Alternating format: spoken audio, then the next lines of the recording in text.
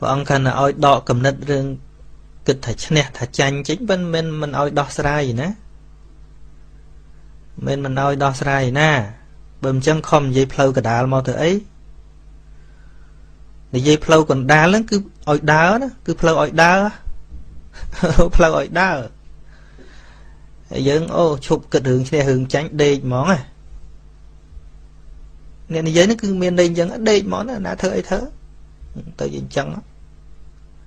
អញ្ចឹងខ្សោយបើយើងទៅឈ្នះពីណាគ្រាន់តែពាក្យព្រះអង្គប៉ុណ្្នឹងយើងអត់ទាំងយល់ផង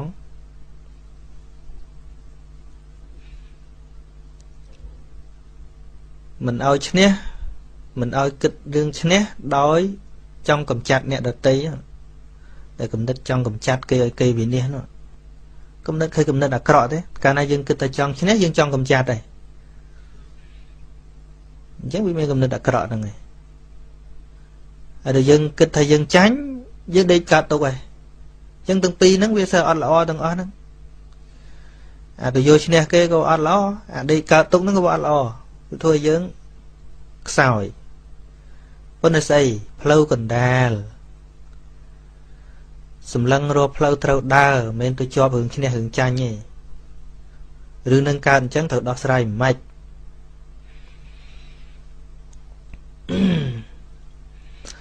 ចឹងមិនដូចសប្តាហ៍មុនដែលវិទ្យុសម្ភាសខ្ញុំកណាអាត្មាអីចឹងខ្ញុំណាថារឿងអីវាកើតមានហេតុហេតុហ្នឹងហេតុយើងវាប្រើពាក្យសម្ដីយើងដឹងហើយសង្គមយើងបែបម៉េចយើងដឹងយើងត្រូវដឹងណាត្រូវដឹងផងដល់យើងនិយាយចេះឲ្យគឺក្តៅតែចឹងទៅ ជាកំហឹងដាក់គ្នាវិណាមានសិទ្ធជាងវិនឹងឈ្នះហើយយើងដែលអត់អំណាចក្នុងដៃវាទល់តែប្រើបញ្ញាច្រើនបន្តិចបន្តិចអីត្រូវប្រើច្រើនមែនតើចង់បញ្យលមនុស្សកុំឲ្យមានស្នាមបើទោះជាវាមានហ្នឹងឲ្យវាតិចបំផុតព្រោះសង្គមយើងបច្ចុប្បន្ននេះ នៅក្នុងគំនិតដែលចង់ឈ្នះចាញ់គ្មានវិណាស្ដាប់យកកន្លែងល្អទេគឺស្ដាប់យកតែចំណុចខុសតាដូចអ្នកស្អប់ថ្មអីមានតែស្ដាប់យកកន្លែងល្អឯណាគាត់ស្ដាប់យកកន្លែងខុសយកទៅផ្សាយហ្នឹងអ្នកស្អប់ថ្មអត់ដែលឃើញផ្សាយកន្លែងថ្មនិយាយល្អទេយូរយូរឃើញចំណុចប្រហោងមួយអញ្ចឹងហ្នឹងដាក់មួយអញ្ចឹងតែឃើញយកតែចំណុចអញ្ចឹងតាមានយកចំណុចល្អណាអញ្ចឹងយើងត្រូវដឹងថាអ្នកដែលចាត់ទុកយើងជាសត្រូវហ្នឹង មិនមែនស្ដាប់យើងយកកន្លែងល្អទេមិនមែនទេអញ្ចឹងយើងត្រូវដឹងហើយបើនៅក្នុងសង្គមដែលចង់តែគិតតែឈ្នះគ្នាទៅវិញទៅមកហ្នឹងជាធម្មជាតិទូទៅលក្ខណៈសាមញ្ញទូទៅណាខ្លាំងនឹងឈ្នះចឹងហើយបានជាខ្ញុំកណាចេះតែនិយាយថាចង់លាងរបស់មិនស្អាតឲ្យស្អាតត្រូវលាងដោយរបស់ស្អាតកុំទៅដោយកំហឹងកុំទៅដោយ លំអៀងងាយនឹងមានកំហុសងាយនឹងគេចាប់អញ្ចឹងណាព្រោះវាមិនមែនជាបញ្ហាងាយដោះស្រាយទេអញ្ចឹងយើងបញ្យលមនុស្សឲ្យយល់ហើយវាលំបាកណាស់ការបញ្យលមនុស្សឲ្យយល់ដោយប្រើធัวតិចហ្នឹងមិនមែនរឿងមិនមែនរឿងសនុកទេ ទីមួយវាត្រូវប្រឈមនឹងអាអាកង្វល់ផ្លូវចិត្តរបស់ខ្លួនឯងដែលចិត្តខ្លួនឯងចង់ឲ្យតែគេយល់ តែគេវាមិនយល់វាត្រូវតានតឹងក្នុងចិត្តឲ្យជួនកាលអញ្ចឹងវាត្រូវប្រឈមនឹងសង្កត់ចិត្តខ្លួនឯងនឹងផងបានដំណើរហ្នឹងយើងដើរទៅវាបានយូរដើរទៅវាបានឆ្ងាយ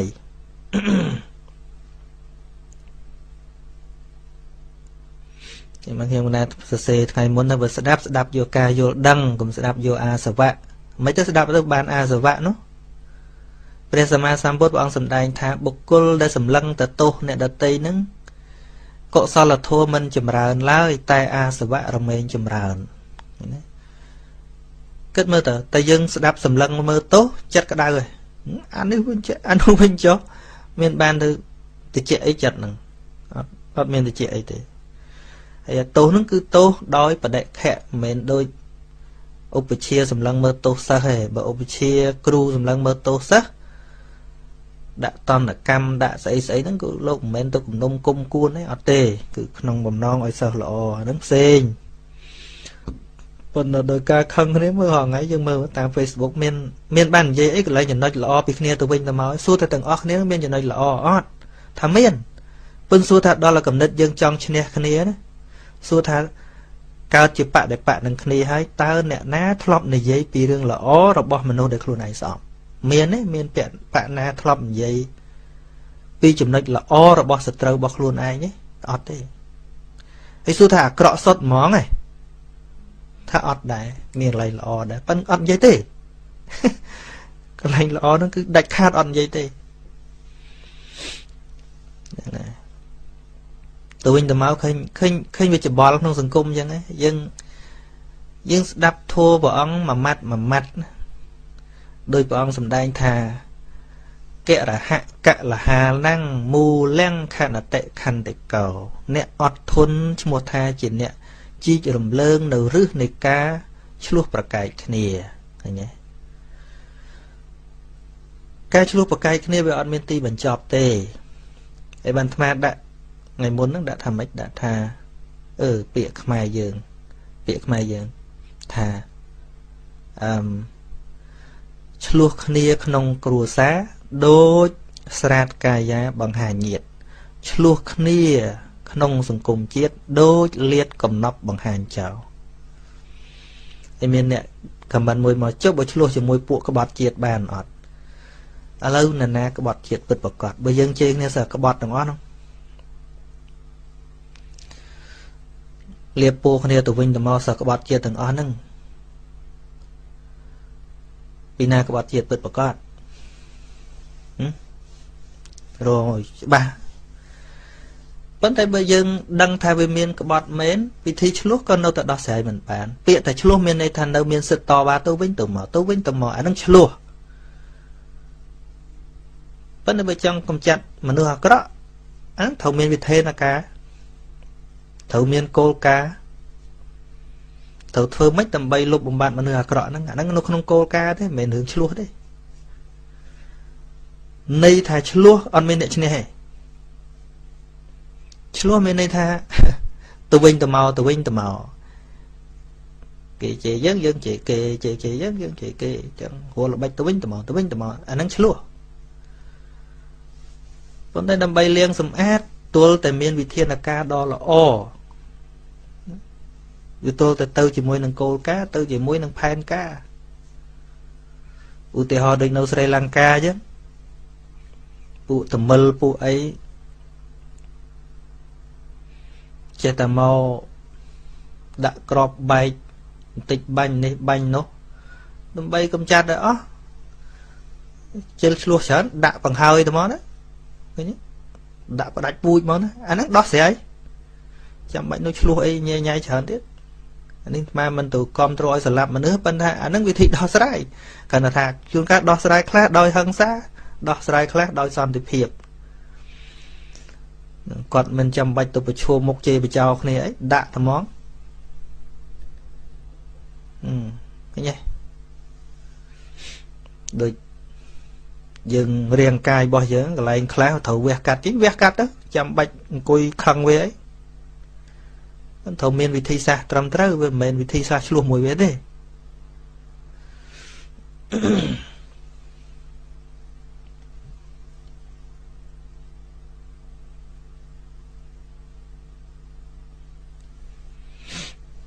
ដូចចោលដូចអីចឹងយើងទៅខឹងចោលមិនអស់ចោលបើច្បាប់មិនល្អ ចោលលួចនោះលួចចឹងបើច្បាប់អត់ល្អវានៅតែលួចចឹងឥឡូវទៅអង្គុយជេរចោលចោលឈប់លួចមើលតែចោលណាចេះឈប់លួចដោយសារយើងជេរនោះទេវាមិនមែនទេពីព្រះសម្មាសម្ពុទ្ធមានតែអនុញ្ញាតឲ្យវិខធ្វើអាក្រក់ណាប៉ុន្តែសួរព្រះអង្គទៅឆ្លោះមួយវិខធ្វើអាក្រក់ហ្នឹងឯងអត់ទេព្រះអង្គបង្កើតច្បាប់ដាក់វិន័យហៅមកប្រជុំហៅមកនិយាយគ្នា ព្រះអង្គណាដែលដៃឆ្លោះមួយវិខសង្ឃអត់ទេប៉ុន្តែមានរឿងព្រះអង្គហៅនាំមកដោះស្រាយក្រោយពីព្រះអង្គទៀតលើកថាហ្នឹងព្រះអង្គទេក្រោយមកទៀតវិខសង្ឃដែលធ្វើសង្គាយានាហ្នឹងក៏អញ្ចឹងដែរមានវិខខ្លះទៅប្រទេសទៅប្រដាស់ណាអូអន្តរធានហើយពុទ្ធសាសនា ធម្មវិន័យនេះនឹងអន្តរធានអញ្ចឹងមានធ្វើអី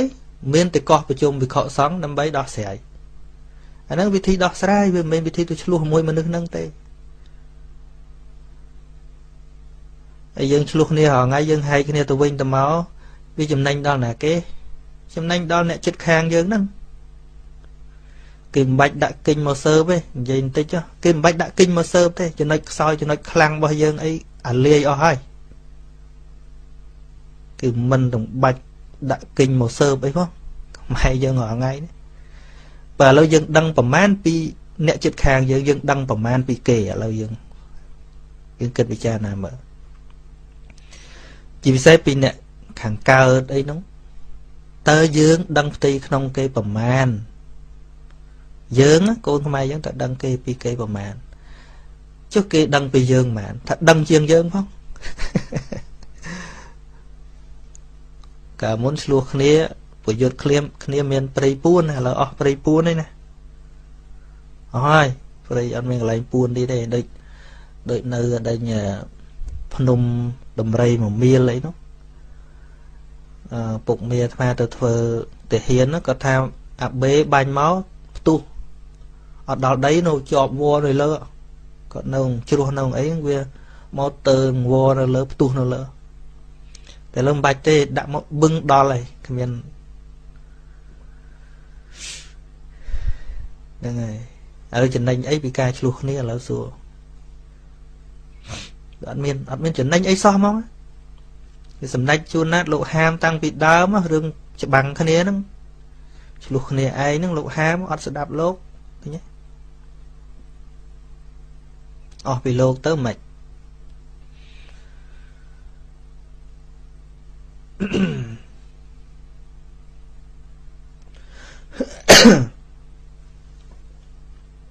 នឹងចឹងចឹងសំណួរដែលសួរតែចង់ឆ្នាញ់ចាញ់ចង់ឈ្នះថាកាលណាគិតតែចង់ឈ្នះមិនដែលគិតរឿងល្អទេពិតជាធ្វើមិនយកឈ្នះហើយអាកំណត់ចង់ឈ្នះនោះហើយដល់គិតតែអញចាញ់ក៏មិនដែលដេកជាសុកដែរវាដេកកើតទុកហើយហើយដល់ដេកកើតទុកហួរល្បិចទៀតដែរពាក្យព្រះអង្គមួយមួយយើងជាយកមកវិនិច្ឆ័យអញ្ចឹងមិនថាអូកាន់ពុទ្ធសាសនាខ្សោយអស់ហើយ គេយកដីអស់ហើយអឺជេរគ្នាពេញប្រទេសហ្នឹងឯងនៅដីហើយបើហែកគ្នាអស់អាលីងហើយមានរឿងអីមិនដែលស្កាត់ជួបគ្នានិយាយគ្នាមកហ្នឹងមើលមើលជួបគ្នាអីបោះតាម Facebook អត់ដែលគិតទេយើងត្រូវជួបជុំគ្នាយ៉ាងម៉េចយ៉ាងម៉េចអត់ប៉ុណ្ណាហ្នឹងជាផ្លូវនៃសេចក្តីវិន័យ ឯមិនបាច់ទេមិនបាច់លាក់ទេចំណុចខ្សោយរបស់ប្រទេសយើងអតនាមានស្អីអា secret ស្អីមិនបាច់លាក់ទេអត់មានស្អីអត់មានអីលាក់ទេគេដឹងអស់លីងហើយដឹងអស់លីងទេមកហែកពុះឲ្យគេមើលអស់លីងហើយតែសួរត្រឡប់មកវិញយើងដឹងពីគេហ្មងវិញឥឡូវ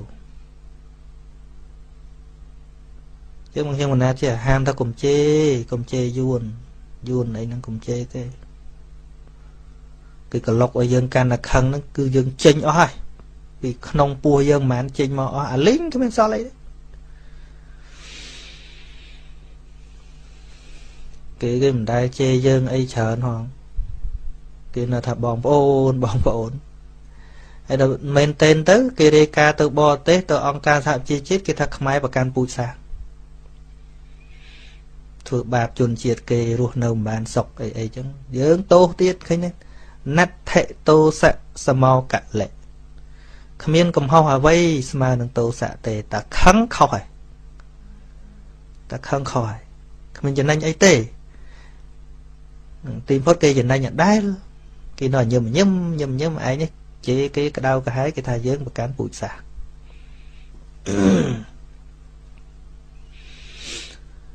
អញ្ចឹង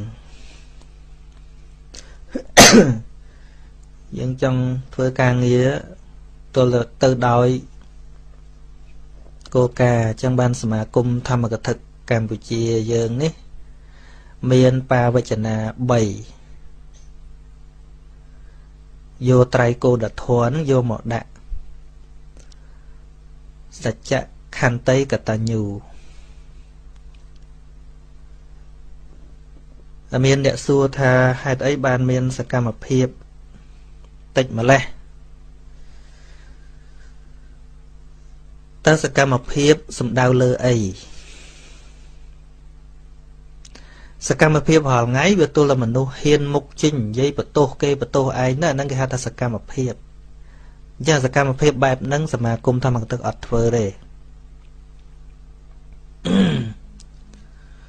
សមាគមធម្មកថាមានគោលការណ៍3អឺ មានបាវចនា3ហ្នឹងសម្រាប់ចងគ្រាកសមាជិកសកម្មមិនឲ្យដើរតាមលំអានចាស់ទេចឹងបាននៅក្នុងក្រមអ្នកជាស្ថាបនិកទាំងប្រមាណមានរឿងរ៉ាវអីកើតឡើងទាំងអស់ខ្ញុំកណាអាត្មាតែងតែប្រជុំគ្នាឲ្យយកគោលការណ៍នឹងយកមកដាក់ថាអត់ប្រយោជន៍ទេការឆ្លោះគ្នា ការតបតការឌឺដង ទៅវិញទៅមកនឹងអត់ប្រយោជន៍ទេខ្ញុំកណាតែងតែដាក់គោលការណ៍ទៅមុខទាំងអស់គ្នាថាយើងរួបរวมគ្នាធ្វើនេះគឺដើម្បីប្រយោជន៍សង្គមទាំងមូលចែករំលែកនៅការយល់ដឹង ការយោគយល់ការអធិស្ឋានគ្នានៅក្នុងសង្គមទាំងមូលពីព្រោះធម្មកថាយើង មិនមែនតែសម័យនឹងទេសម័យតទៅមុខទៀតក៏ដោយបងប្អូនក្រោយក្រោយដែលខ្លាយជាអ្នកទេសនានោះអាចចូលរួមបានប៉ុន្តែគ្រាន់ថាយកម្នសិការនឹងយកមកដាក់មានគោលការណ៍រួមមួយ គឺការផ្ដល់ចំណេះដឹងពិតដល់ប្រជាពលរដ្ឋយើងគ្រប់តំបន់យើងមានវេទិកាស្រេចសម្រាប់ធម្មកថាយើង ជាពុទ្ធបរិស័ទខ្មែរយើង រៀបវេទិកាឲ្យយើងស្រេចទាំងក្រេតេទាំងមេក្រូទាំងដល់ឲ្យទៅសំបីតាយានជំនិះអឺមធ្យោបាយនៃការធ្វើដំណើរគាត់អ្នករៀបចំទាំងអស់គ្មានបកណាដែលស្រួលជាងបឋមកថានឹងទេ ក្នុងការផ្សព្វផ្សាយក្នុងការជំរាប បញ្ជ្រាបចំណេះដឹងដល់ពុទ្ធបរិស័ទមកថាបកហ្នឹងមិនមែនគណៈបកទេណាគឺក្រុមដែលយើងធ្វើសមាគមបើជាបកនយោបាយផ្សេងផ្សេងគឺត្រូវចំណាយច្រើនដោយខ្លួនឯងប៉ុន្តែធម្មកថាយើង គឺមិនចំណាយច្រើនទៅលើការងារទាំងអស់ហ្នឹងទេ ប៉ុន្តែយើងដូរពីការងារធ្វើតែឯងតែឯងយើងមើលការងាររួមគ្នាបើសម្រាប់តែឯងតែឯងវាវាងាយទេវាស្រួលទេខ្ញុំកណារស់តែឯងទៅកណាគ្រប់អង្គក៏តែឯងតែឯងទៅមានការសម្ដែងធម៌ញាតញោមរៀងរៀងខ្លួនទៅប៉ុន្តែខ្ញុំកណាគិតថាវាអត់ខ្លាំងវាមិនអាច បន្សល់មរតកអ្វីឲ្យប្រជាជនយើងបានទេដោយសារទៅតែឯងចឹងមិនពាក្យគេនិយាយថាបើចង់លឿនទៅតែឯងតែបើចង់ដើរបានយូរទៅដោយមានគ្នាហើយយើងមិនទៅប្រឆាំងជាមួយបកណាទេ គឺយើងចង់ដាស់តឿនតែវិជាពុទ្ធបរិស័ទរបស់យើងឲ្យគាត់ប្រែការគិត ផ្ដល់ចំណេះពិតដែលយកមកប្រតិបត្តិក្នុងជីវិត តាមរយៈប្រយោជន៍ទាំង3គឺប្រយោជន៍បច្ចុប្បន្នគឺប្រយោជន៍ការរស់នៅបច្ចុប្បន្នហើយនឹងសម្បារាយកតប្រយោជន៍ប្រយោជន៍បរលោកហើយនឹងបរមត្តប្រយោជន៍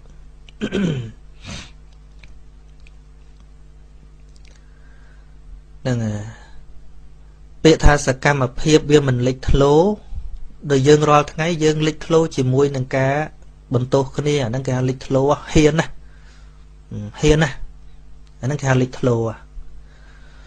ប៉ុន្តែយើងខំពយល់ដោយតិចហ្នឹងវាមិនងាយលេចធ្លោទេព្រោះមនុស្សវាអត់បានក្តៅជាមួយយើងអឺមើលមើលមើលតាម Facebook មើលអី ឲ្យទៅពីណាកំពុងតែឌឺដាក់ពីណាឲ្យខ្លួនឯងស្អប់ពីនងដែរនឹងចូលទៅរាប់រយរាប់ពាន់ខមមិនអឺដាក់ទៅដាក់ទៅដាក់ទៅណាវាទល់ទៅពីណាចេញមុខធ្វើអញ្ចឹងបានយើងហៅថាមានសកម្មភាពថាអត់ប្រយោជន៍ទេអត់ប្រយោជន៍ទេកំត្រួកំត្រួឃើញក្លាហានក្លាហានទៅញ៉ាឆ្កយឃើញព្រោះវាទៅអត់ដោយបេះដូងស្មោះបរិសុទ្ធពិតប្រកបវាទៅដោយជោ វាទៅដោយចង់បានឈ្មោះថាអ្នកក្លាហានហើយទៅលឿនពេកទៅបន្តិចទៅបត់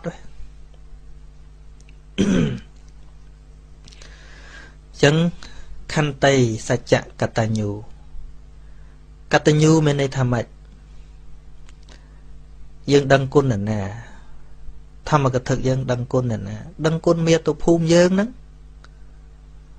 មេតុភូមិហ្នឹងមានន័យថាជាភូមិនៃមេដារបស់យើងហ្នឹងយើងកើតនៅនឹងយើងនិយាយភាសាហ្នឹងយើងរស់នៅនឹងយើងត្រូវតែដឹងគុណបន្តវេនតទៅទៀត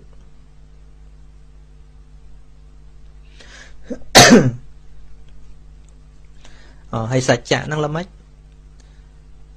ជាការពិតណាស់ការធ្វើការងារជាមួយគ្នា បើយើងខ្វះសច្ចធម៌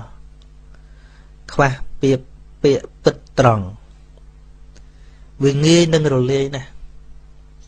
ព្រោះសម័យឥឡូវនេះ សម័យមុនក៏វាអញ្ចឹងប៉ុន្តែសម័យនេះវាកាន់តែកាន់តែមិនងាយអាចកលិចកលុចបាន ពីព្រោះអីបើសម័យមុននិយាយហើយហើយណាអត់មានណាថតទុកទេប៉ុន្តែសម័យនេះតែនិយាយហើយមាននៅតាមមេឃហើយ ហើយបើយើងថ្ងៃនេះនិយាយចេះថ្ងៃក្រោយនិយាយចុះអាយើងនឹងតម្លៃរបស់យើងគេឲ្យតាមហ្នឹងទំនុកចិត្តរបស់មនុស្សគេឲ្យមិនមិនច្រើនដងប្រហែលទេណាតែយើងចេះកលិចកលុចពេកអានឹងតែមនុស្សអស់ទំនុកចិត្តហើយពិបាកពិបាកយកមកវិញណាបាត់របស់អាចរស់មកវិញបានប៉ុន្តែបើការទុកចិត្តរបស់មហាជន បានបាត់បង់ហើយមិនងាយរស់មកវិញបានទេ ណាដូចយើងដឹងហើយអ្នកដឹកនាំមុនមុនដែលប្រជាជនលែងឲ្យជំនឿចិត្តហើយទោះបីខំប្រឹងមកវិញមិនប្រឹងលែងមកហើយឱកាសมันមានច្រើនដងទេសម្រាប់មនុស្សយើងម្នាក់ម្នាក់ឱកាសมันមានច្រើនដងទេអញ្ចឹងបើមានត្រូវប្រើវាឲ្យបានល្អ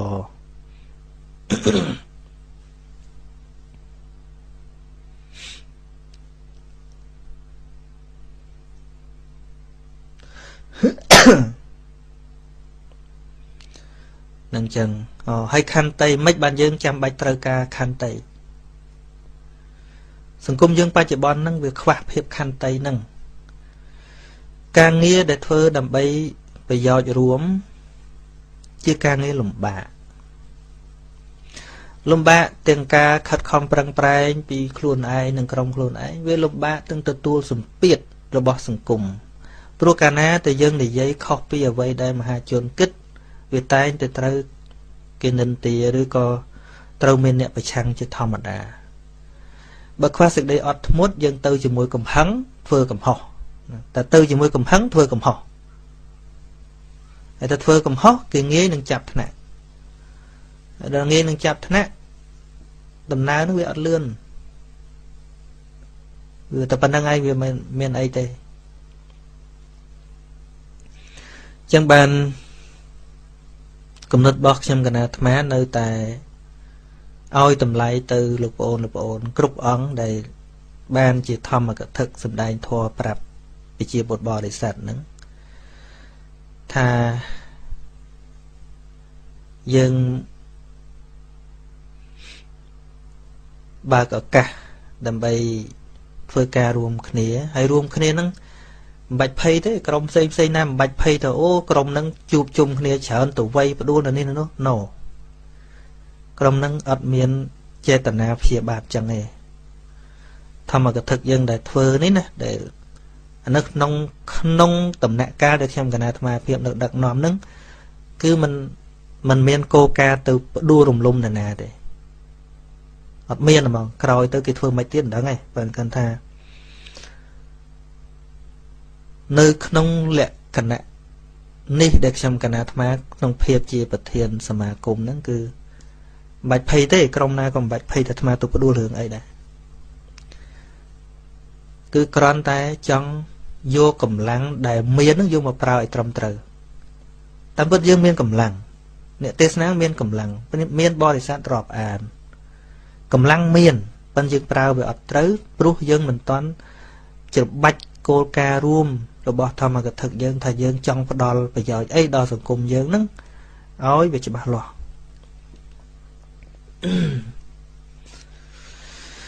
នឹងចឹងហើយអ្វីត្បិតថាយើង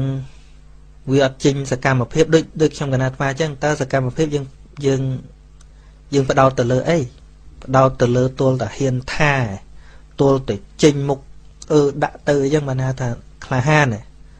តែមែនទេយើងកំពុងពន្យល់យើងកំពុងតែបង្រៀនយើងកំពុងតែស្រោចទឹកឲ្យចិត្តរបស់ខ្មែរយើងតិចនឹងឯងគឺជាការងាររបស់យើងនឹងឯងកំពុងតែធ្វើនឹងឯងមកវឹកមុនធម្មកថានៅក្នុងក្រមលោកក្តៅច្រើនដែរតាប៉ុន្តែខ្ញុំមិនគិតថាមានប្រសិទ្ធភាពហើយក៏អរគុណលោកប្អូនគ្រប់អង្គដែរដែលបានទទួលសំណូមពររបស់ខ្ញុំកណាខ្ញុំមិនដឹងផ្លែផ្កាដាក់គ្នាយ៉ាងម៉េចទេ ហើយកន្លែងនៃខ្ញុំកណាអាត្មា ប្រាប់មុនគេបំផុតហ្នឹងគឺកូនចៅរបស់ខ្លួនឯងនៅវត្តនៅពេលដែលគេជេរខ្ញុំកណាអាត្មាភាពខ្ញុំណាប្រាប់ទៅថានឹងស្ងៀមឲ្យស្ងៀមមិនបាច់រកហេតុផលថារឿងអីដែលគេជេរខ្ញុំកណាទេបេះដូងខ្ញុំកណាអាត្មាភាពនោះគឺមែនមានមានចំណុចហ្នឹងមែនអ្វីទៅតែពេលខ្លះវាមិនមែនមិនមានការអន់ចិត្តសោះទេប៉ុន្តែឃើញផ្លូវមួយថា ការជេរគ្នាទៅវិញទៅមកហ្នឹងមិនមែនដំណោះស្រាយទេអត់មែននៅតែឃើញថាមិនមែននៅល្ងិតឈឹងហ្មងឲ្យទៅទៅជាមួយកំហឹងហ្នឹងគឺទៅជាមួយល្ងិតដែរព្រោះផ្លូវដោះស្រាយអត់ឃើញទេ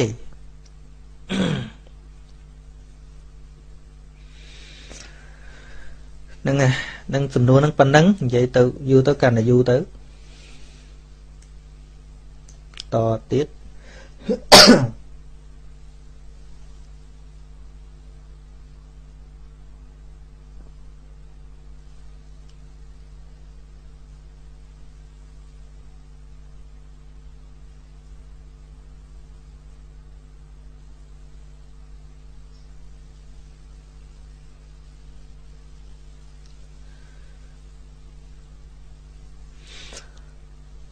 អឺសំណួរថាពាក់ព័ន្ធនឹងសពថ្ងៃពជាបរដ្ឋពជាកសិករ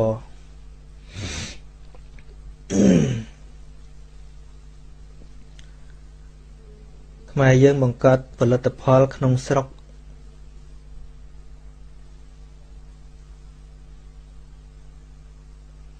មកទេនេះ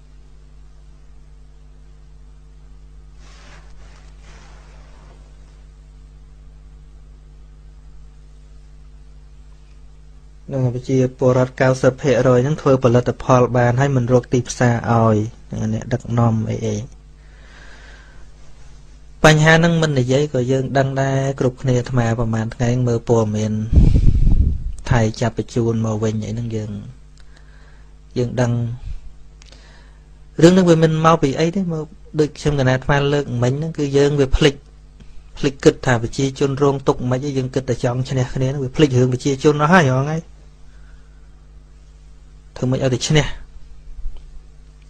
ដូចយើងគិតតែរឿងនឹងខ្លាំងពេកទៅវាភ្លេចរឿងគិតប្រជាជនទៅ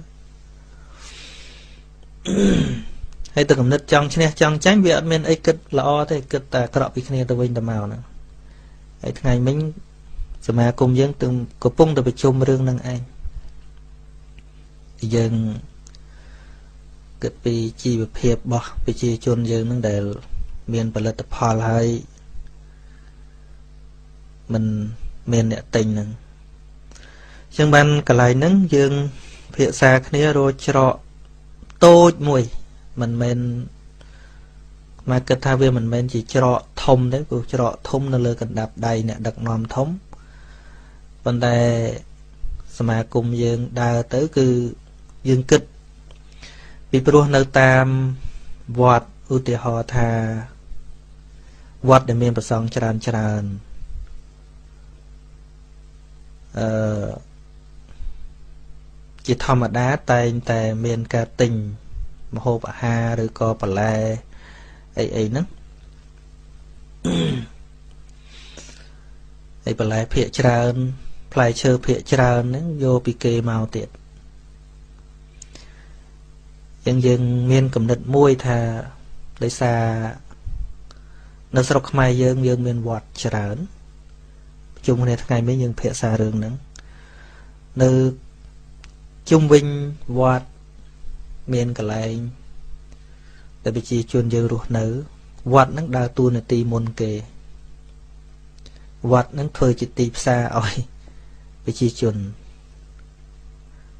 ប្រជាជនដាំដំណាំទៅជៀសវាងការទិញបន្លែពីខាងក្រៅទិញបន្លែរបស់បរិស័ទជុំវិញវត្តនោះ ហើយរាល់សិលប្រជាជនតែងទៅវត្តយើងពន្យល់ខ្មែរឲ្យចេះស្រឡាញ់ជាតិហ្នឹងគឺស្រឡាញ់ផលិតផលខ្មែរយើងហ្នឹងពយល់អាហ្នឹងអាហ្នឹងជាកិច្ចការដែលសមាគមយើងត្រូវធ្វើពយល់ឲ្យគាត់យល់ពីរឿងហ្នឹងតែយើងរងថ្ងៃយើងបានតែខឹងគ្នាថាកុំប្រើផលិតផលគេកុំប្រើផលិតផលគេបានតែខឹងមកផ្លេតផ្លេតហ្នឹងបើយើងអត់មានដំណោះស្រាយអីហើយ បើចាំអាត្មាទៅអឺឧទាហរណ៍ថាចង់ទៅធ្វើឲ្យអាត្មាហ្នឹងទៅកាន់ការងារប្រទេសក៏ទៅកាន់វាមិនរួចគឺមានអ្នកកាន់ហើយបើទៅបើកបាក់មិនដឹងមិនដឹងបរិយាព្រះអង្គការណាអាត្មាទៅជាប់ឆ្នោតអញ្ចឹងធ្វើអីដែលអាចធ្វើបាននឹងឯង នឹងជាច្រកដែលខ្ញុំណាគិតថាជាច្រកល្អមួយពួកយើងត្រូវពន្យល់ទាំងវិជាជនយើងទាំងអ្នកប្រើប្រាស់ផលិតផលតែមានញាតិញោមនៅខេត្តគាត់គាត់ត្អូនគាត់អ្នកលក់គាត់ត្អូនគាត់ត្អូនថាឥឡូវលក់អត់ដាច់ទេខ្មែរជាជនយើងទៅថៃអស់ហើយ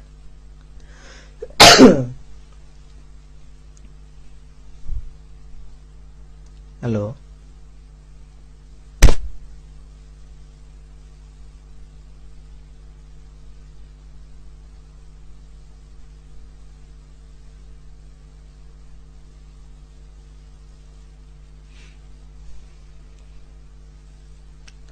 នៅលឺឯងបើអាត្មាស្ដាប់លែងលឺអានេះវិលវិល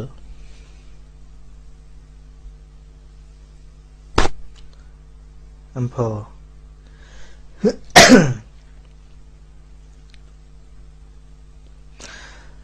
អឺ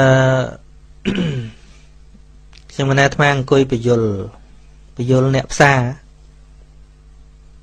ដែលគាត់អង្គុយដបោមលក់លែងដាច់ហ្នឹងព្រោះធម្មតាតែចិត្តចូលឆ្នាំអីមនុស្សមកទិញហើយស្រូវហើយស្រែហើយដំណាំអីហ្នឹងមនុស្ស មកទិញសលៀកបំពាក់មកទិញស្បែកជើងមកទិញអីអីអញ្ចឹងគាត់លក់ដាច់ប៉ុន្តែប្រហែលឆ្នាំចុងក្រោយនេះគាត់លក់លែងដាច់អង្គុយមើលមុខគ្នា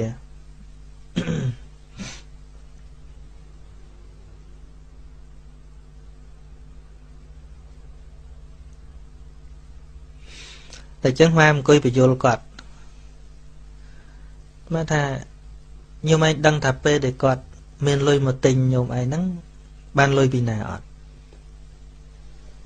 គាត់អត់ដឹងជួនកាលគាត់អត់ដឹង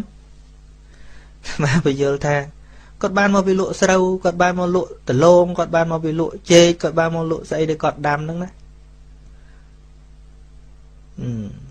បានគឺគាត់មានលុយមកទិញស្អីស្អីរបស់ប្រើប្រាស់ហ្នឹងហើយចុះឥឡូវខ្ញុំឯងដឹងថាម៉េចបានលែងមានលុយមកទិញថារបស់ហ្នឹងវាលក់លែងកើតគ្មានវិណាជួយទិញ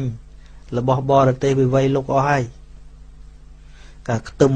សក្រីនឹងដឹកចូលពីគេអស់ហើយ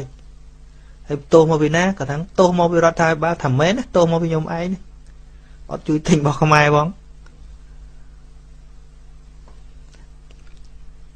ហ្នឹងថារឿងនោះយើងបាញ់និយាយវាច្រកគេចូលមកវាដូចថានិយាយខ្លីថាគេចូលមកថ្ងៃណាក៏បានស្រុកយើងមិនបាច់ពិបាកព្រោះគ្រាន់ថា បើរឿងហ្នឹងវាជាបញ្ហាទៅហើយហើយយើងដឹងថាវាធ្វើអីមិនកើតទៅហើយជឿរឿងយើងធ្វើកើតមកយើងមិនធ្វើធ្វើត្រឹមយើងធ្វើកើតហ្នឹងណាធ្វើត្រឹមយើងធ្វើកើតថ្មស្គាល់ញាតិញោមនៅអដេញកំពង់សោមលេងខ្ទឹមសក្រីដឹកពីគេចប់មកឥឡូវយើងបាញ់និយាយអាហ្នឹងបើយើងគ្នាយើងហ្នឹង វាជាកោសិកានៅជាមួយគ្នាហ្នឹងរងគ្រោះមិនមែនតែអ្នករត់ទៅថៃទេណាញាតិញោមញោមក្នុងផ្សារហ្នឹងលក់ក្នុងផ្សារហ្នឹងក៏គ្រោះដែរណាតិចទៀតរលុយបងផ្សារអត់រួចទេហ្នឹងអោយតែប្រជាជនយើងលែងមានលុយទិញអញ្ចឹងវាវាទល់តែមានការសម្បទានវាទល់តែមានការសម្បទានយើងទិញរបស់គាត់គាត់ទិញរបស់យើងអាហ្នឹងវាដូរគ្នារស់ហ្នឹង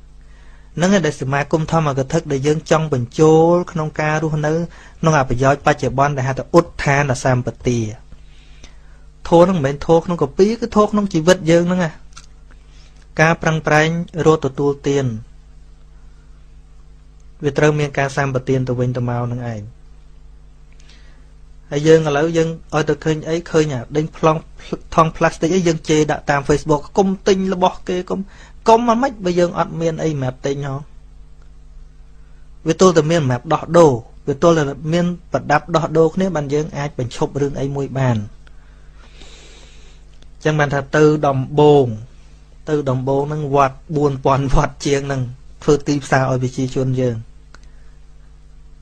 ហ្នឹងប៉ុន្តែថាស្ដាប់យល់ប៉ុណ្ណាប៉ុណ្ណឹងប៉ុន្តែយើងទៅត្រឹកត្រឹកថាគោលការណ៍របស់យើងអត់មានទៅប្រឆាំងជាមួយនរណាទេ យើងទៅបរៀនឲ្យតែប្រជាជនយើងរស់ឲ្យប្រជាជនយើងបើដាំលក់មិនតាន់បានដាំហូបចិត្តចិត្តផ្ទះហ្នឹងមើលនៅនេះដីតិចតិចក៏គេដាំដែរបើយើងគិតពីសេដ្ឋកិច្ចវិញបើយើងគ្រាន់តែដាក់ដាំទៅមកវិញងូតទឹកនៅស្រុកស្រែយើងយើងងូតទឹកដាក់ដាំត្នេះត្នោះហើយចាស់ចាស់ខ្លះគាត់ផ្លាស់ពីងពីងកន្លែងគាត់ងូតទឹកហ្នឹងគាត់ ម្ដងគាត់លើកពីងទៅដាក់ត្នេះម្ដងគាត់លើកពីងទៅដាក់ត្នោះកន្លែងគាត់ងូតទឹកហើយងូតទឹកហ្នឹងវាហូរទៅណាហូរទៅអាតំណាំរបស់គាត់ហ្នឹងអញ្ចឹងបើយើងគិតពីសេដ្ឋកិច្ចគ្រួសារបើយើងមានបន្លែជុំវិញផ្ទះនឹងយើងកាត់ចំណាយការកាត់បន្ថយការចំណាយទៅទិញរបស់ផ្សារហ្នឹងណាយល់ឲ្យតែយើងប្រកែបញ្យលប្រជាជនយល់ប៉ុន្តែតែធម្មទេសនាយើងរាល់ថ្ងៃយើងអត់បានបញ្យលកន្លែងហ្នឹងអញ្ចឹងទៅ វាយូរយូរគង់តែគេបោះចោលមិនបាច់ភ័យអញ្ចឹងបានបើគេថាអូពុទ្ធសាសនាត្រូវនៅនេះបំផ្លាញត្រូវនៅនោះអាត្មាថាអត់ព្រួយរឿងហ្នឹងព្រួយរឿងថៃតៃយើងបានផ្ដល់ស្អីដល់សង្គមរបស់យើងបើយើងបានធ្វើសកម្មភាពផ្ដល់ប្រយោជន៍ដល់សង្គមយើងហើយបានប្រយោជន៍ហើយគេនៅតែបោះចោលទៀតបោះទៅមានស្អីតែបើថាយើងអត់បាននាំគ្នាផ្ដល់ប្រយោជន៍ដល់សង្គមយើងហើយគេបោះចោលត្រូវហើយ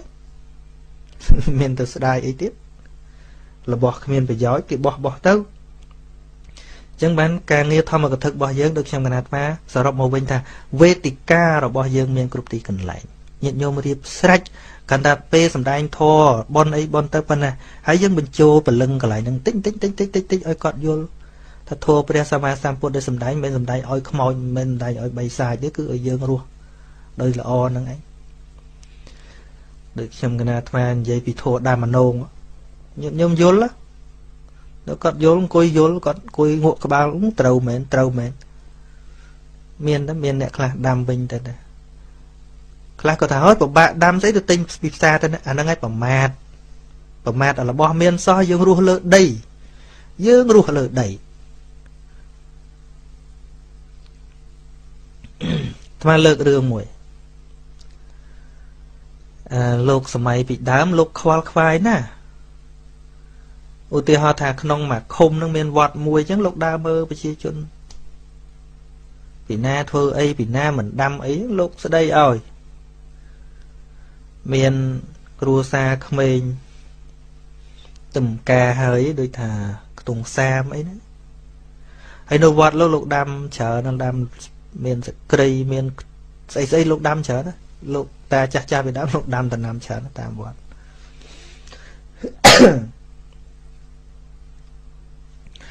ហើយគាត់នឹងមកសុំសក្រីសុំសក្រីលោកមុនឲ្យលោកទៅជេឯងរស់លើមេឃឲ្យរស់លើដីលោកថាអញ្ចឹងឯងរស់លើមេឃឲ្យរស់លើដី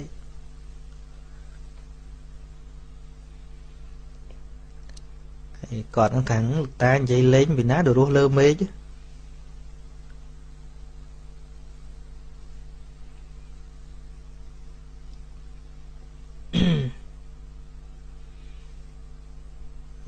អូអញ្ចឹងរស់លើដីដែរហើយបានលោកសួរថាចុះសក្រីអញនេះលោកនិយាយអញអញចឹងចុះសក្រីអញហ្នឹងដាំលើមេឃឲ្យដាំលើដី ដាំលើដីបានលោកថាអើឥឡូវយកមកគុំទៅប៉ុន្តែផ្ទះនៅឯណាអីណាហឹមមិនបាច់យកបន្តិចទេមិនបាច់យកមកសម្លទេយកមកគុំទៅហ្មងតាហើយខែក្រោយអញទៅមើលបើមិនឃើញសក្តិដោះក្បែរផ្ទះទេថ្មោងអញ្ចឹងមានន័យអត់សក្តិតែម្ដងហ្នឹងលោកបដៅ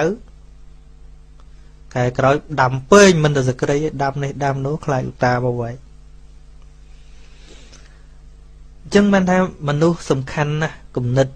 បស់យើងហ្នឹងរស់នៅផ្សារភ្ជាប់ជាមួយនឹងបច្ចុប្បន្នហ្នឹងនឹងជាការងារដែលធម្មកថាយើងត្រូវធ្វើកន្លែងហ្នឹងព្រោះសង្ឃឹម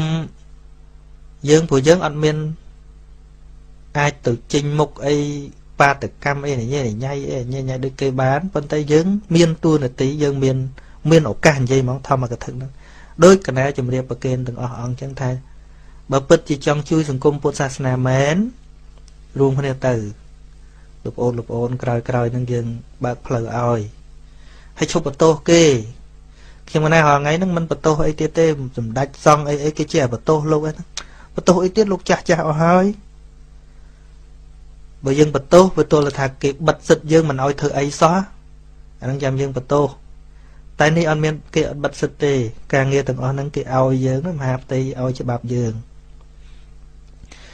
យើងចុះកិច្ចសន្យាក្នុងមហាផ្ទៃយើងមិនមាននិន្នាការនយោបាយបានគេឲ្យបើបើមាននិន្នាការនយោបាយគេអត់ឲ្យទេអញ្ចឹងយើងសន្យាថាយើងអត់មាននិន្នាការនយោបាយទេនយោបាយបកនេះបកនោះយើងអត់មានទេប៉ុន្តែថាយើងមាននយោបាយដឹកនាំមនុស្ស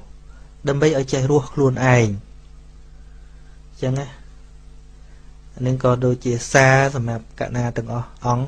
ទោះបីចូលក្នុងក្រុមធម្មកថាក៏ដោយមិនចូលក៏ដោយសុំឲ្យមានគំនិតហ្នឹងគំនិតធ្វើម៉េចថាឲ្យវាបានប្រយោជន៍ដល់ឆ្នាំងបាយរបស់យើង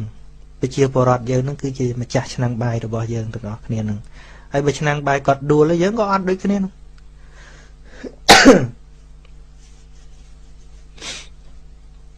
ហើយដីណាដែលល្អដូចដីស្រុកខ្មែរយើងណា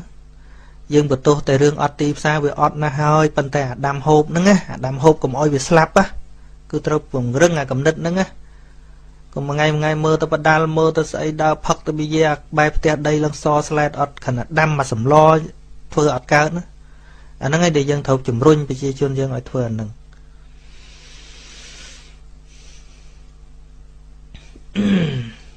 ហ្នឹងហើយដូចសំណួរលើកឡើងមិញហ្នឹងថាគេមិនគិតទីផ្សារឲ្យថា តែហ្នឹងគេដឹងហើយឥឡូវយើងធ្វើអ្វីដែលយើងធ្វើបានធ្វើអីដែលធ្វើបានចេញពីយើងណាចេញពីយើងទៅទៅចេញពីយើងយើងមានគំនិតអីយើងប្រាប់យើងនិយាយយើងដាស់តឿនគ្នាហើយកន្លែងដែលសំខាន់ត្រូវការយើងទៅកន្លែងដែលថាយើងមើលគេថាអត់កើតហ្នឹងគឺយើងត្រូវធ្វើខ្លួនឯងឲ្យកើតទៅអាហ្នឹងជាតម្លៃរបស់យើងហើយតែបើគេកើតអស់ហើយចាំបាច់យើងទៅចេញមុខទេ កុំទើសនឹងតំណាមកើតយើងធ្វើកន្លែងយើងធ្វើកើតចប់មានទៅឆ្លោះជាមួយនរណា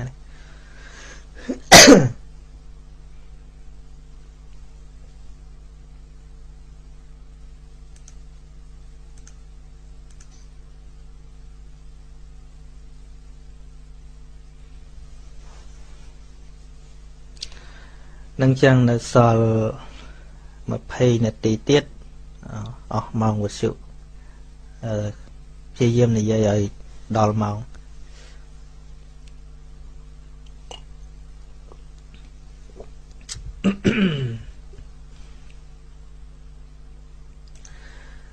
អឺម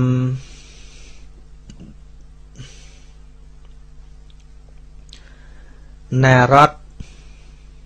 ផានណារតផាន ខ្ញុំកណាថ្វាយបង្គំលោកម្ចាស់គ្រូខ្ញុំកណានៅតែមិនតន់យល់ពាក្យថាខណ្ឌធាតអាយតនៈខណ្ឌនឹងមិនសរសេរខណជាងដូទេអានឹងខណ្ឌជាប់ទេខណ្ឌនឹងសរសេរខណជាងធោ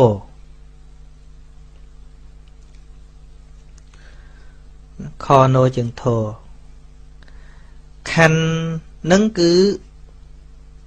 តួជីវិតយើងទាំងអស់ហ្នឹងហៅថាខណ្ឌខណ្ឌហ្នឹងណា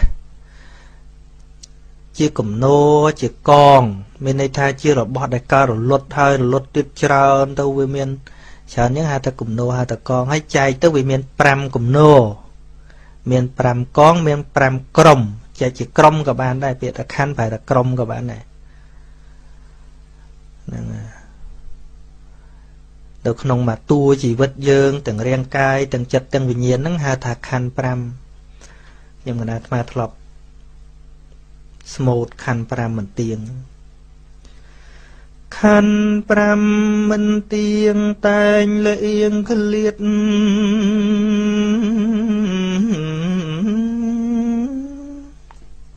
ខានស្មូត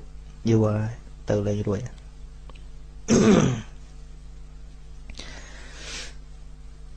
ខណ្ឌ5ហើយក្នុងចំណែក5ហ្នឹងមានមួយគឺជារូបធម៌សតតាំងពីចុងសក់ដល់បាតជើងហៅថារូបខណ្ឌមួយផ្នែកទៅរូបខណ្ឌហើយទី2វេទនាខណ្ឌ វេទនាខណ្ឌសញ្ញាខណ្ឌសង្ខារខណ្ឌ4ហ្នឹងគឺផ្នែកនាមធម៌សុទ្ធយើងមើលអត់ឃើញទេប៉ិនវាមាន ជាធម្មពលក្នុងអឺរាងកាយរបស់យើងហ្នឹងវេទនាមានលក្ខណៈ3មានសោមនស្សវេទនាគណៈពេលដែលយើងរីករាយទុកឬតោមនស្សវេទនាអឺបើ3សុខវេទនាពេលទទួលអារម្មណ៍ថាសុខ ទុក្ខវេទនាពេលទទួលអារម្មណ៍ថាទុក្ខឧបេក្ខាវេទនា គឺស្មើស្មើកដាកដាលធម្មតាអានឹងជាខណ្ឌមួយដែរហើយដល់ទៅសញ្ញាខណ្ឌគឺការចងចាំ ការចំណាំ ការចងចាំរឿងគ្រប់យ៉ាងហ្នឹងជាសញ្ញា ចងចាំថាយើងមានប្តីមានកូនមានប្រពន្ធមាននេះ មាននោះ ចាំរឿងនេះចាំរឿងនោះហ្នឹងគឺសញ្ញាសញ្ញាខណ្ឌមួយផ្នែកទៀតទៅហើយ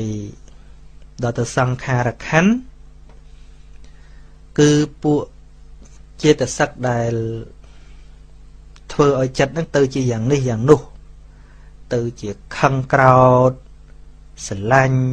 ស្អប់ចំណែនអីទាំងអស់ហ្នឹងហៅថាសង្ខារខណ្ឌ ហើយដល់ទៅវិញ្ញាណខណ្ឌធម្មជាតិសម្រាប់តែដឹងរឿងឯងគឺចិត្តវិញ្ញាណហៅថាវិញ្ញាណក៏បាន ចិត្តក៏បានហៅថាវិញ្ញាណខណ្ឌសម្រាប់តែដឹងរឿងទេ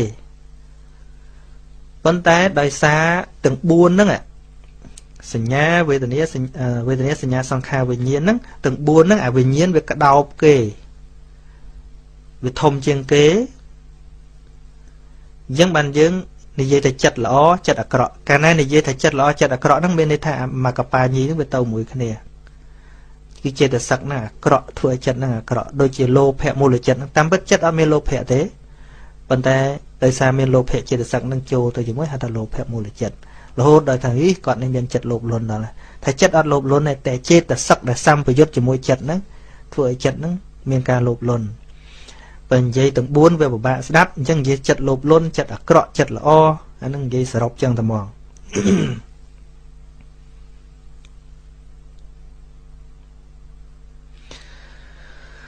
ហើយអឺមធាត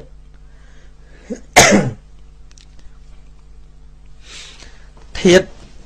ទាំងអស់ នៅក្នុងមួយមួយតួខណ្ឌ5ដដែលហ្នឹងបើចែកជាធាតមាន18ចែកជាធាតមាន18មាន18អីខ្លះនៅក្នុងចិត្តនៅក្នុងចិត្តចែកជាធាតុមាន7 ហើយនៅក្នុងចេតសិកចែកជាធាតុមានធាតុ1ហើយនៅក្នុងរូបមានច្រើនឥឡូវរាប់ទាំងអស់គ្នាអាត្មាថាប្រមាណហ្មងអត់ដឹងប៉ុន្តែរាប់ទៅដឹងហ្មងជំរឿផ្នែករូបដូចជាបាន11កន្លះចេះរូបនេះចក្ខុប្រសាទសភាពថ្លានៃមហាពុទ្ធរូបដែលកើតនឹងភ្នែកហ្នឹង នៅក្នុងប្រស្រីភ្នែករបស់យើងដែលវាស្រូបទាញពលឺចូលហ្នឹងចក្ខុប្រសាទហ្នឹងហៅថាចក្ខុធាតនឹងមួយគេណាធាតភ្នែកចក្ខុធាតដល់ទៅវណ្ណរូបសម្រាប់ឃើញហ្នឹងពណ៌ផ្សេងផ្សេងដែលភ្នែកឃើញហ្នឹងរូបហ្នឹងហៅថារូបធាតបានពីផ្លូវភ្នែកបានបានពីតាមផ្លូវតិច กระดาษតិចរបស់យើងហ្នឹងកន្លែងដែលមានរោមរំញ័ររំញ័រសម្រាប់សំលេងចូលមកធ្វើឲ្យលំញ័រហ្នឹងកន្លែងហ្នឹងហៅថាសោតធាតនេះសោតធាតហើយដល់ទៅតួសំលេងដែលមកប៉ះតិចហ្នឹងហៅថាសត្យធាតនេះសត្យធាតសំលេងធាតសំលេងចឹងបានធាត4ណាតាមចំោះ នឹងនៅក្នុងនេះក្លែបដែលទទួលក្លិនហ្នឹងហៅថាខៀនអ្នកធាតខៀនអ្នកហ្នឹងប្រែតែចំោះខៀនអ្នកធាតហើយដល់តែក្លិនដែលបញ្ចូលមកហ្នឹងហៅថាគន្ធធាតគួរនៅជាងធោគន្ធៈគន្ធៈគន្ធៈធាតហើយដល់ទៅតាមដាត ផ្នែកខាងលើ ដែលជ្រាបទឹកចូលទៅហើយដឹងរសជាតិហ្នឹងកន្លែងហ្នឹងហៅថាជីវហាធាតជីវហាធាតហើយដល់ទៅរសជាតិដែលបញ្ចូលទៅប៉ះអណ្ដាតហ្នឹងហៅថារសធាតរសហើយធាតរសធាត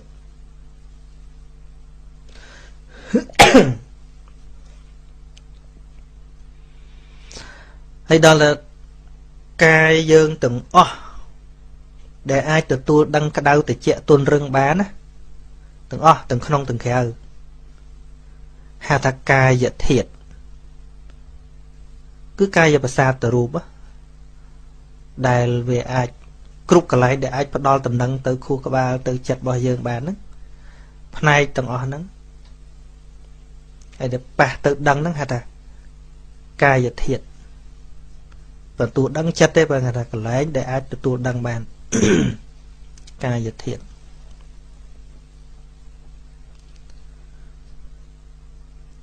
ហើយដល់តែធាតក្តៅតិចណាក្តៅតិចអឺទុនរឹងទុនរឹងគឺធាតដីធាតដីមានលក្ខណៈ2រឹងផងទុនផង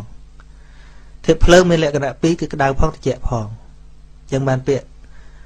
ខ្មែរយើងយកមកប្រើ temperature ហៅថាសីតនហភាពសីតតិចអ៊ុនហក្តៅសីតតិចអ៊ុនហក្តៅ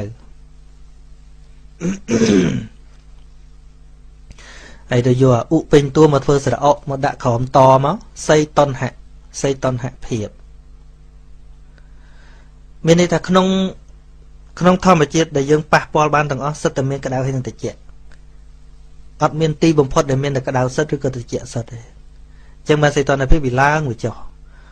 ឡើងដល់100អង្សា នៅតែមានសីតុណ្ហភាពហ្នឹងមិនមែនថាក្តៅហ្នឹងបាត់ត្រជាក់មិនមែនទេព្រោះវាមានអាក្តៅជាងហ្នឹងទៀតត្រជាក់អញ្ចឹងដែរមក0អង្សាចាប់ផ្ដើមតកកកហើយនឹងចាប់ផ្ដើមរលាយតាមហ្នឹងដក0ទៅទៀតក៏នៅតែមានអ៊ុនហៈក្នុងហ្នឹងដែរកម្ដៅក្នុងហ្នឹង ហើយធាតុខ្យល់គឺសំដៅដល់ភាពកម្រើកតឹងញ័រលហិលហៈដូចការធ្វើសមាធិអីជាងការវាតឹងខ្យល់ហ្នឹងវាតឹងទៅនេះទៅនោះគឺធាតុខ្យល់អាហ្នឹងមិនមែនខ្យល់មកប៉ះកាយយើងវុបវុបហៅថានេះទេអាប៉ះលឹងរឹងណាអាហ្នឹងវាទៅជាបថវ័យវិញចឹងអាធាតទាំងអស់ហ្នឹងដែលមកមកមកដល់កាយយើងហើយ គួរដឹងបានតាមរយៈផ្លូវកាយហ្នឹងហៅថាផោតថាពៈធាត